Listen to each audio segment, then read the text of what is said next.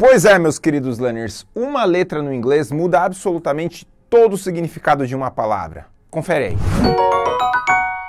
What's up, learners? Júnior Silveira aqui, seu professor de inglês online, o mensageiro da brilhagem. Essas duas palavras que vocês estão vendo aqui, ó, são bem parecidas. Apenas uma letra as diferencia. Se é que você não percebeu, na primeira tem dois, duas letras Os, ou letra dois Os, e na segunda tem apenas um. A primeira palavra é lose.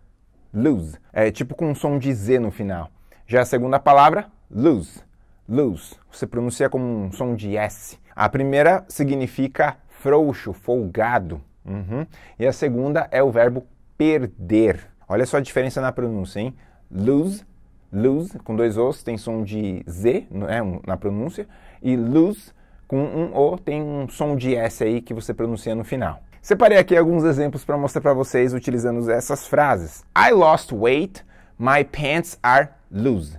I lost weight, my pants are loose. Ou seja, eu perdi peso, minhas calças estão frouxas, folgadas. E com lose, que tem um O e um som de S na pronúncia aí no final, né? Don't lose your keys.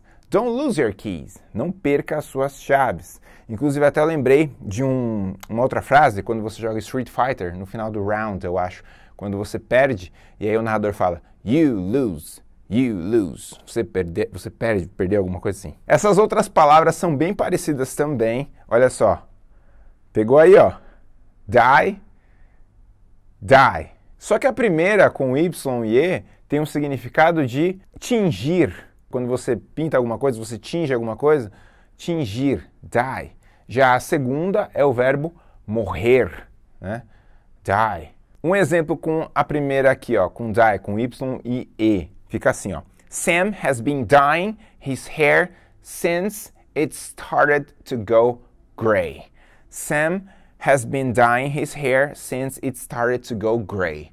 O Sam, ele começou, é, ele, ele tem tingido o cabelo dele desde que começou a ficar branco. É, então vocês viram aí que o dyeing, ele está com o ing no final, porque estamos usando o present perfect continuous. É uma estrutura que começou, que, que dá a ideia de algo que começou no passado e vem perdurando até o presente. Um, um exemplo com a palavra, né, do jeito que eu ensinei aqui na primeira vez, uh, don't dye your hair. Don't dye your hair. Não tinja o seu cabelo, não pinte o seu cabelo. Né? Agora, com die, de morrer, um exemplo que eu coloquei aqui, ó. My love for you will never die. My love for you will never die. O meu amor por você nunca vai morrer, nunca morrerá. Uma, uma frase bem romântica, né? Bem, bem, bem de amor. Pode falar isso pro seu crush aí no WhatsApp, já manda isso aí, você me agradece. Accept, accept, accept, accept. Né? A primeira com um som de A né, no começo, accept. Segunda um som de E mesmo, accept. As duas têm a escrita muito parecidas, como vocês podem perceber. Né? A primeira tem dois Cs, né? a segunda já sai um, um, um C e entra um X. Então, accept significa aceitar.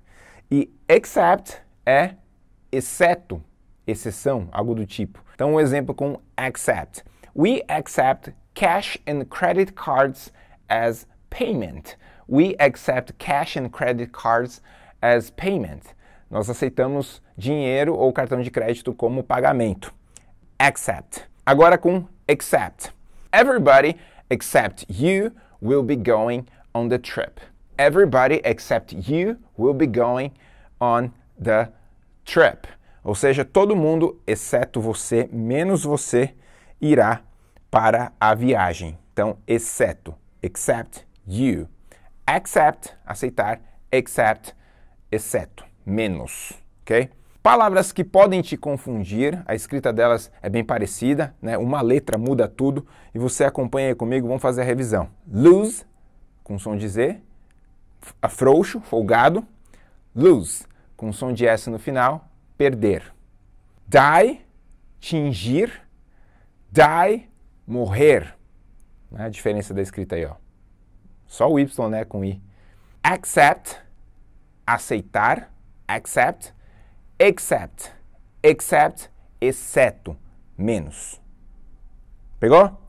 Lá no meu Instagram eu posto mais dicas, mais conteúdos de inglês, então se você ainda não me acompanha por lá, pode clicar no link aqui embaixo para você me seguir e também conhecer mais sobre os meus cursos de inglês, está tudo aqui na descrição. Não vá embora ainda, porque eu separei esses dois vídeos aqui que com certeza vão te ajudar muito nos seus estudos de inglês. Pode clicar e a brilhagem vai começar. E se inscreve no canal se você ainda não é inscrito por aqui. So that's it for today, learners. Thank you so much for watching e lembrem-se todos vocês, see you around. Bye. Pode clicar.